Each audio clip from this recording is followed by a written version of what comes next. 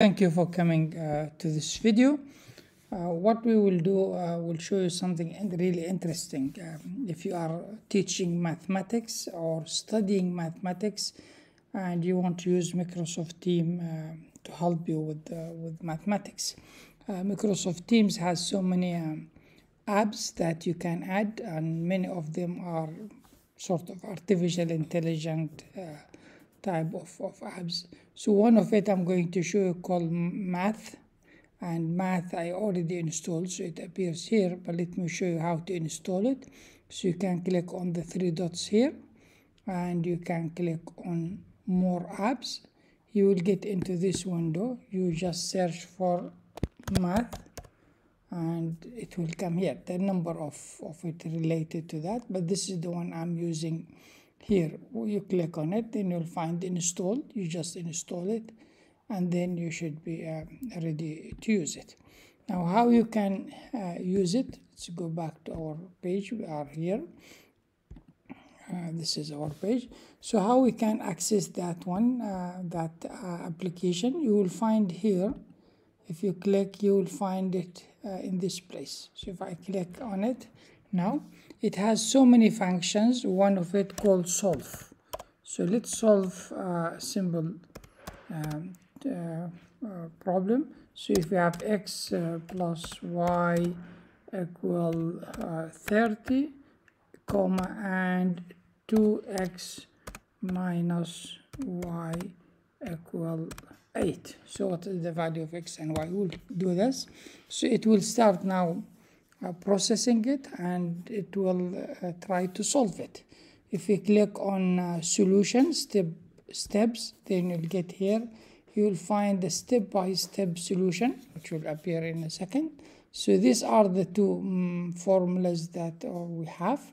And then it will go through explaining the steps to solve this specific uh, problem and getting us y and x. So this is value of y value of x uh, at, at, the end. This one using uh, the substitution there is other one using the matrices. So if you click here it will start showing you the solution using the other way of solving this problem. And then the third way by the elimination and this is a third one. So it gives you three solutions for the same same problem and coming with the same solution. You can look at the graph as well representing these two uh, linear uh, equations and you will see these are the two two lines we have one representing the first one and one representing the other and this is where the intersection between the two. So it's very nice. Now if I want to do a little bit something more complicated let's click on on this one. It gives you this formula editor which you can start editing your complicated uh, formula. Something went wrong. Let's click again. Uh, and then you can start uh, building a formula to solve uh, the problem. Now here is the uh, one so i'm doing calculus for example.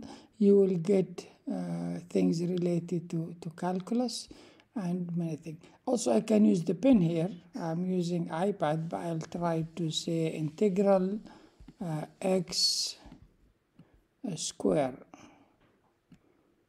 Okay? Sine I'll complicate it.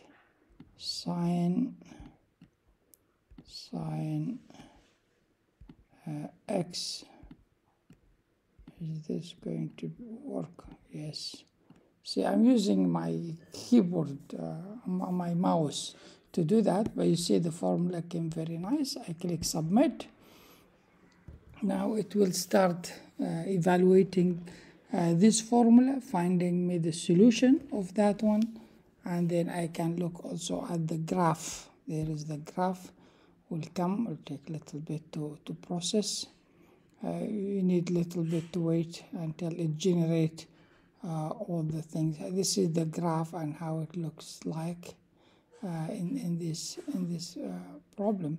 The good thing it gives you also videos and more information to look at it. So if you want to know more about it, how this is can be solved, you click here, you will find resources to help you learn that one, related specific to this one. So this there are a number of videos that you can watch from Khan Academy from YouTube, and some additional information that you can look at it uh, will help you uh, with this problem. So you can learn a lot of things just by uh, going through uh, the, this app, which which we have uh, here. So I hope you find this useful and thank you for listening to me.